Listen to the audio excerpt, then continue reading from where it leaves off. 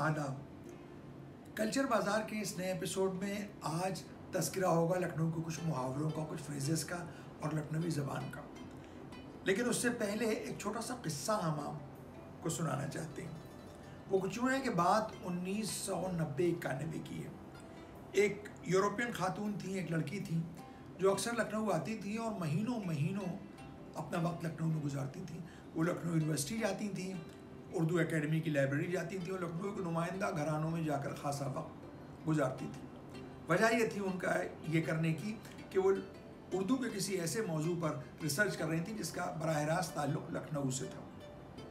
और वो मशहूर अफसाना निगार और उर्दू की नावल निगार मसरूर जहाँ साहिबा के आया करती थी। एक दिन वो मसरूर जहाँ साहिबा के आई और बहुत ज़्यादा एक्साइटेड थी, बहुत ज़्यादा खुश थी और उन्होंने उनसे गले लग के कहा कि, अम्मी, आज हमारे दिल की कैफियत आप ना पूछिए। तो मसरूर जहाँ साहिबा ने पूछा कि, भाई, क्या है तुम्हारे दिल की कैफियत? उन्होंने कहा, आज हमने एक ऐसी चीज़ खा ली है कि हम आपसे बयान नहीं कर सकते। उन्होंने कहा, भाई, कौन सी उनका चीज़ तुमने खा ली? उन्होंने कहा, आज हमने शाही टुकड़े खा लिए। यानी शाही टुकड़ा उन्होंने खा लिया था और वो कह रही थी कि हमने इस शाही टुकड़ों का ज़िक्र इस कदर सुना है कहानियों में, अफसानों में और बातचीत में, लेकिन हमने कभी खाया नहीं था। और हम आज गुलाम हसनैन नकवी साहब जो वकील साहब थे लखनऊ में, उनके यहाँ गए थे, यानी शन नकवी के घर वो गई थी और वहाँ उन्होंने शाही टुकड़ा खा लिया था। शाही टुकड़ा तो जो मुगलई या नॉर्थ इंडियन और जो लवाजमात हैं, उसका एक ख़ास जुज़ है। लेकिन शाही टुकड़े की शुरुआत कैसे हुई, इस पर मुमकिन है आपको इल्म हो। ये एक ऐसी ईजाद है जो कदीम वक्त में मिस्र में की गई थी, इजिप्ट कहते हैं कि वहाँ के कोई सुल्तान थे, वो किसी दिन शिकार पे गए और शिकार लंबा हो गया और उनका खाने पीने का सामान ख़त्म हो गया। तो उन्होंने वहाँ पर जो कोई मौजूद था, लोग कहते हैं उम अली। उम अली नहीं, बल्कि उम कहते हैं अरबी में माँ को। तो उमुल अली कोई खातून होंगी, उनसे कहा कि हमारे लिए कुछ खाने पीने का इंतज़ाम करो। तो उन्होंने सूखे टुकड़ों को, रोटी के जो मोटे मोटे सूखे टुकड़े थे, उनको घी में तला उसके बाद उसको बहुत उम्दा किस्म के दूध में और ज़ाफ़रान में और उसमें थोड़ी सी शक्कर या उस ज़माने में जो होता होगा, जिसको कहते हैं कि हनी, उसको उन्होंने उसमें मिला के और उसमें डुबो के और ऊपर से एक दूध की बहुत ही थिक लेयर लगा के बादशाह को पेश किया। बादशाह बहुत खुश हुए और उसके बाद इजिप्ट में ये एक डिज़र्ट की तरह से राइज हो गए शाही टुकड़े। होते होते ये हिंदुस्तान भी आए। और जब यहाँ आए तो ये इसी तरह पकते थे रोटी के टुकड़ों पर। लेकिन बाद में जब अंग्रेज़ यहाँ आए और मॉडर्न कन्फेक्शनरी यहाँ कायम हुई तो उसमें डबल रोटी मिलने लगी। ब्रेड जिसको हम कहते हैं, उसको उर्फ़ आम में डबल रोटी कहते हैं। तो उसको काट के उसके बनाए जाने लगे। शाही टुकड़ों का ही एक कज़न है, जिसको कहते हैं डबल का मीठा। वो तो नाम से ही मालूम होता है कि डबल रोटी से बनता होगा, इसलिए उसका नाम डबल का मीठा है। वो हैदराबाद में बहुत मकबूल और बहुत राइज एक डिज़र्ट है। लखनऊ का जो शाही टुकड़ा है, उसकी खूबी यह है कि उसको बहुत ज़्यादा मीठा नहीं, मुनासिबत की मिठास होनी चाहिए, गुदास होना चाहिए है और उसमें खुशबू भी ख़ास किस्म की होना चाहिए जो लखनवी खुशबू खाने में डाली जाती है। शाही टुकड़ा जो लोग बनाना चाहते हैं या जो लोग पकाना चाहते हैं, उनके लिए ये हमारी गुजारिश है कि कभी भी ताज़ी डबल रोटी का अपना बनाएँ, बल्कि बासी डबल रोटी का बनाएँ और वो भी डबल रोटी वो हो जो अनस्लाइज्ड हो। बग़ैर कटी हुई डबल रोटी आप लाएँ और उसको आप मोटे मोटे पीसेस काट के फिर उसका बनाएँ तो उसमें वो गुदासपन जो एक नरमी होती है, वो उसी डबल रोटी में पैदा हो सकती है। हमने लखनऊ का एक के खानों के लिए एक बहुत मशहूर रेस्टोरेंट है, एक फाइव स्टार होटल में दिल्ली में, वहाँ सब खाने बिल्कुल वैसे ही मिलते हैं, जैसे लखनऊ की बॉर्ची पकाते हैं, लेकिन शाही टुकड़ों में मात खा जाते हैं वो।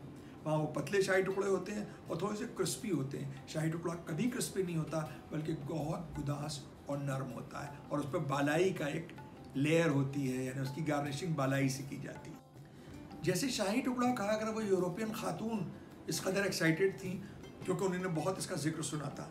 आप हजरात ने भी दस्तरखान का बहुत ज़िक्र सुना होगा, जिसको आम फहम यानी उर्फ़ आम में हम लोग दस्तरखान कहते हैं। लेकिन आज आप देख भी लीजिए, हमारे पीछे जो लगा हुआ है, ये दस्तरखान है। दस्तरखान उस कपड़े को कहते हैं, उस टेबल क्लॉथ को जिसको बिछाकर ज़मीन के फर्श पर जब खाना खाया जाता है। और दस्तरखान पे खाना रखने को कहते हैं खाना चुनना।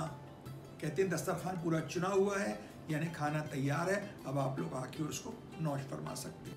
उमूमन दस्तरखान जो है, वो इसी रंग के होते हैं, यानी जर्द, और उस पर एक छापे का काम होता है, जो हैंड प्रिंट होता है, और उस पर कुछ शेर भी लिखे होते हैं मेहमान की इज़्ज़त में, उनकी तवाज़ों में, और या कुछ अल्लाह का शुक्र भेजते हुए कि उसने खाने की नेमत से खाने वाले को नवाजा है।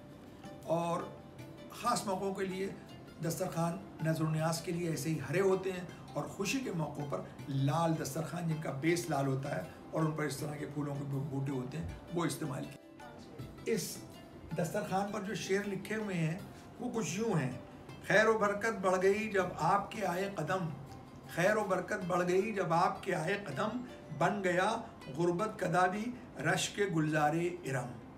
और दूसरा शेर नीचे की तरफ़ लिखा हुआ है, वो यूँ है, कर दिया नाचीज़ को भी सरफराज, कर दिया नाचीज़ को भी सरफराज, आप पर कितना करूँ वो कम है नाज, आप पर कितना करूँ वो कम है नाज. दस्तरखान असल में एक तुर्की लफ्ज़ है, तुर्की ज़बान का लफ्ज़ है। ये बलोची में भी होता है, बंगाली में भी दस्तरखान लफ्ज़ का इस्तेमाल होता है, उर्दू में तो होता ही है।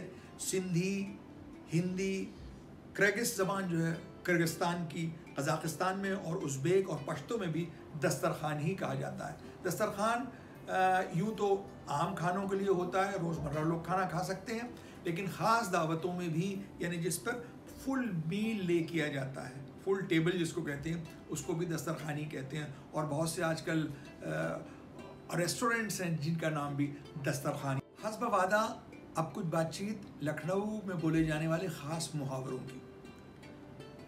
और आज ज़िक्र होगा उन मुहावरों का जो इंटरपर्सनल रिलेशनशिप्स के सिलसिले या हवाले से हैं। आपसी ताल्लुक के हवाले से। इसमें एक मुहावरा हम लोग बहुत बोलते हैं, दरमियाना रविश या दरमियाना रवि। अब इसके माने क्या है? इसको आप इस मिसाल से समझ जाएँगे। अब यह तो यह है कि हम आपके इतने अच्छे ऐसे दोस्त हैं कि गिरविदा हैं, चौबीस घंटे आपके यहाँ खड़े हुए हैं, गले में हाथ डाले हुए हैं, बाहें डाले हुए हैं, हमारा निवाला नहीं उठता आपके बगैर। और या अगर नज़रें फेरी तो ऐसे हो गए, क्या मालूम हुआ कभी थे ही नहीं। तो ये एक्सट्रीम बिहेवियर हो गया। इसलिए कहते हैं, दरमियाना रवि या दरमियाना रविश होनी चाहिए। यानी वैसा रवैया हो जो हमेशा आप उसको कायम रख सकते हो। मिडिल पाथ या मध्य मार्ग जिसको कहते हैं। उसको कहते हैं, दरमियाना रवि या दरमियाना रविश। इसी से मिलता जुलता जो एक और जुमला इस्तेमाल होता है बहुत लखनऊ में, इसी सिलसिले में, वो है टुकड़ा तोड़ के हाथ में दे देना। टुकड़ा तोड़ के हाथ में दे देना, यानी एक्सट्रीम अनएक्सपेक्टेड रूड बिहेवियर यानी हम आपसे बहुत ज़्यादा फ्री हैं, आपसे रोज़ मिलते हैं और आप एक, आपके कंधे पे हाथ रख के बात करते हैं। हमने आपसे पूछा, भाई, कैसे मिजाज हैं? कैसे हैं आप? तो आपने एक मरतबा हमें बहुत ही टेढ़ी नज़रों से और बहुत ही रूखे तासुर से चेहरे पर हमको देखा और कहा, ठीक है, अच्छे हैं। और कह के हाथ हटा दिया।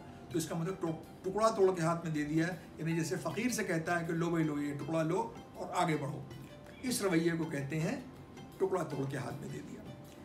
इसके बाद एक चीज़ और इन्हीं सिलसिलों में इस्तेमाल होती है, वो होती है किनारा कशी। किनारा कशी के माने होते हैं अपने को मझधार से विड्रॉ कर लेने के। अब इसकी मिसाल कुछ यूँ आप समझिए, इसका इस्तेमाल भी आप कुछ यूँ ही कर सकते हैं कि हमको किसी से बहुत ज़्यादा मोहब्बत है, रगबत है, और हम उनसे उसी तरह मिल रहे हैं जैसे हमेशा मिलते थे, लेकिन उनके रवैये और उनके एटीट्यूड में कुछ चेंज हो गया।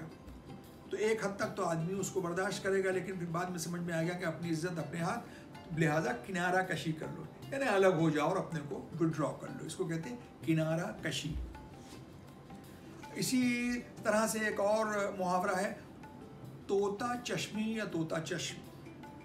तोतों का मिजाज और उनका नेचर और उनकी जो सीरत है वो ये होती है, कहा जाता है, जो तोता, जो पैरट होता है, कि आप उसको हीरे मोती भी खिला दीजिए।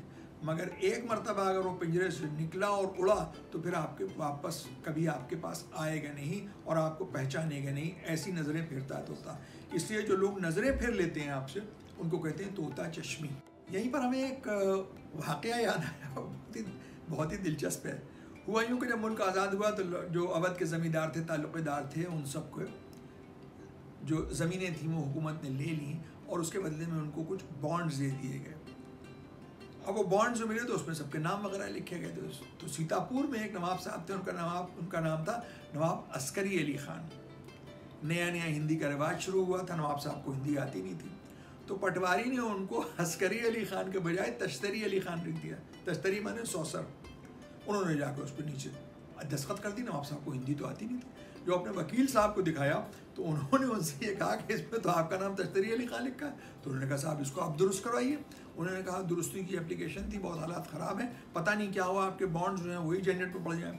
लिहाजा अभी आप यही करते रहिए।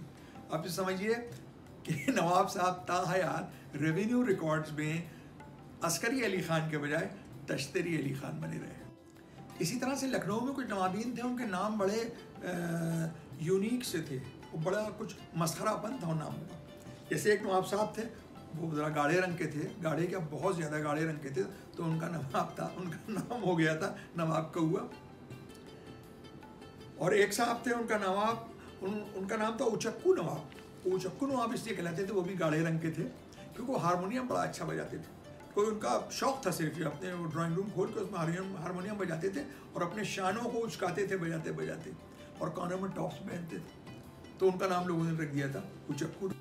एक बहुत अजीब सा नाम था जो हम बचपन में हमारे यहाँ साहब आते भी थे, उनका नाम था घी नवाब ये आज तक तय नहीं हो पाया कि आखिर उनका नाम घी नवाब क्यों था। अगर ये दरियाफ्त हो सका तो अगले किसी एपिसोड में हम इसकी कहानी भी आपको बताएँगे कि घी नवाब घी नवाब कैसे बने। हम लोगों की लखनऊआ ज़बान जो है, वो इस कदर लिरिकल है, उसमें ऐसी रिद्म है कि जो अल्फाज बोले भी जाते हैं, उनमें बेशतर जो है, वो एक डिस्क्रिप्शन होता है। और उस बहुत ही रिफाइनमेंट के साथ। मसलन आपकी शॉल में कोई तागा निकला है, कालीन में कोई तागा निकला है, वो थोड़ा सा खुला हुआ, कुछ फूला सा है तो उसको ना तागा कहेंगे, ना धागा कहेंगे, ना रेशा कहेंगे, उसको कहेंगे फूसड़ा। ये एक तरीका है। उस चीज़ को कहना फूसड़ा इसी तरह से फुन्ना होता है।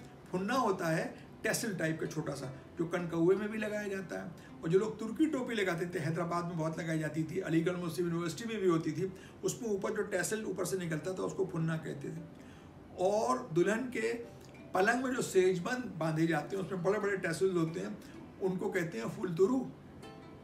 फुलतुरु। कई एपिसोड पहले हमने ज़िक्र किया था गलावटी कबाबों का। उस सिलसिले में बहुत से लोगों ने ये बात जाननी चाहिए कि लफ्ज़ गलावटी है या गलावटी है। लखनऊ के जो कबाब होते हैं, वो गलावटी होते हैं और उसको ये कहने की वजह यह है कि उसमें गलावट लगाई जाती है। यानी कीमे को लाकर उसमें अंजीर की या कच्चे पपीते की गलावट लगाई जाती है और अपने आप इतना वो गल जाता है उसकी वजह से, इसलिए उसको कहते हैं गलावट। और उसी से निकले गलावटी कबाब के। बस उनको आँच दिखाने की ज़रूरत होती है कि वो फ़ौर तैयार हो जाती हैं। इसलिए गलौटी कहीं नहीं है। बड़े बड़े होटल्स में भी लिखते गलौटी हैं। गलौटी कोई लफ्ज़ नहीं है, इसमें है गलावटी। दस्तरखान से ही मुतल एक मुहावरा है, जो लखनऊ में एक तंज की तरह से इस्तेमाल किया जाता है, टॉन्ट की तरह से। यानी कहा जाता है कि फ़लाँ साहब तो फ़लाँ साहब के दस्तरखान की मक्खी हैं। दस्तरखान से मक्खी होने के, से मुराद है, इसके माने ये है कि किसी के दस्तरखान पर, किसी की रोटियों पर पलना, यानी उनके हाली मवाली होना और उन्हीं के यहाँ खाना पीना इसको कहते हैं दस्तरखान की मक्खी होना। और अभी एक साहब अभी लखनऊ में ये मुहावरा इस्तेमाल कर रहे थे अपने किसी पुराने मुसाहिब के सिलसिले में कि हमारे दस्तरखान की मक्खियाँ और हम ही पे बिन बना रही हैं। आखिर में एक मरतबा फिर आप हजरात का बहुत बहुत शुक्रिया इस, इन वीडियोस को देखने के लिए। और आपसे ये गुजारिश है कि आप अपने दोस्तों से भी इस चैनल को सब्सक्राइब करवाएँ, अपने कमेंट्स भेजें और इनको शेयर भी करें। एक गुजारिश आप हजरात से और है कि जो अक्सर हम आपसे उर्दू के कुछ आम फहम, अल्फाज, कुछ मुहावरे वगैरह जो हम आपसे शेयर करते हैं, उनका आप इस्तेमाल भी ज़रूर करें। और इस्तेमाल करने के बाद हमको कमेंट्स में लिखें कि आपने किस तरह उसको इस्तेमाल किया और आप अपने, आपने अपनी भाषा की जो वास्तु है, उसमें उसके कैसे असरात जो हैं, उनको महसूस किया है।